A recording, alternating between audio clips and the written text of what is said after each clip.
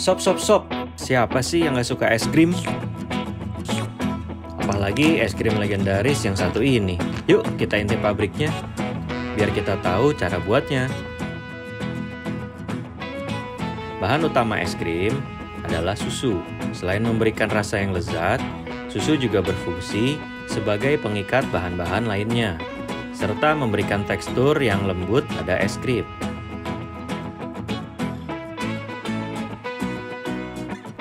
Kemudian ditambahkan sirup dan perasa lainnya sebagai penambah rasa pada es krim.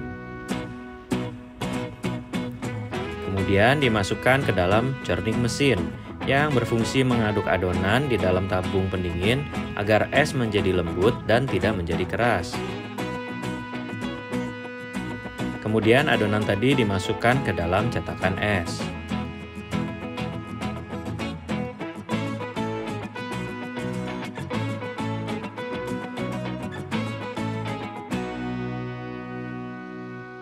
Kemudian tangkai atau stick yang terbuat dari kayu akan dimasukkan ke dalam cetakan es yang berfungsi sebagai pegangan es krim ketika dikonsumsi.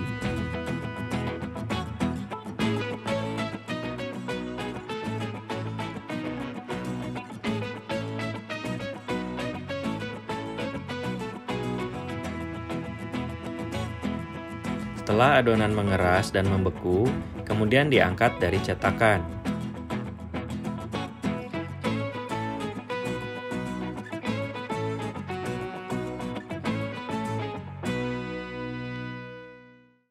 Adonan pelapis es pun telah disiapkan. Biasanya coklat, kacang, maca, dan lain-lain. Kemudian adonan tersebut diaduk hingga merata. Lalu adonan es dicelup ke dalam adonan pelapis.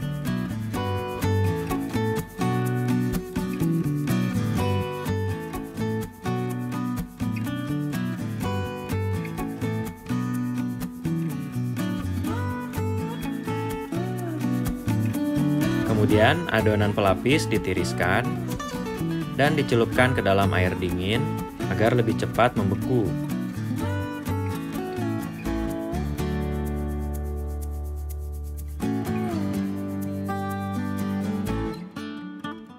Jadi deh. Berikutnya, es krim menuju ke proses pengemasan.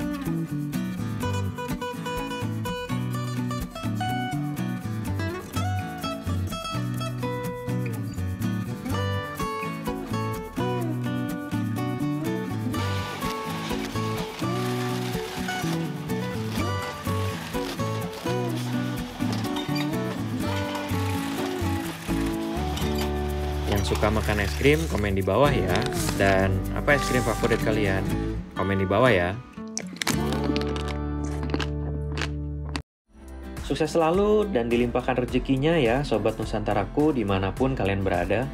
Semoga informasi ini bermanfaat dan menjadi sumber inspirasi buat Sobat Nusantara semuanya. Jangan lupa subscribe, like, dan kalau kalian Sobat Nusantara, yuk komen di bawah ini, Indonesia bersatu, yakin bisa maju. Bagikan ke teman-teman dan saudara-saudara ya. Siapa tahu video ini bermanfaat buat mereka. Sampai jumpa di video berikutnya, nyalakan lonceng ya agar tidak ketinggalan sumber inspirasi dan informasi terbaru dari kami. Terima kasih sobat, sehat selalu dan maju terus. Salam. Indonesia bersatu. Yakin bisa